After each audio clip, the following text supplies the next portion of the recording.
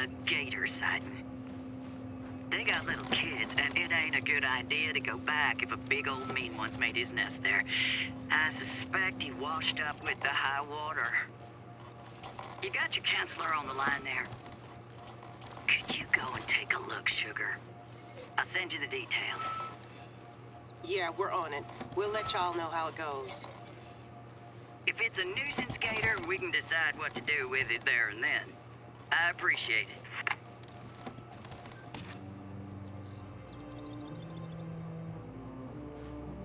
Most folks around here know how to handle The entire alligator, tree just but we don't disappeared. take chances where kids are concerned.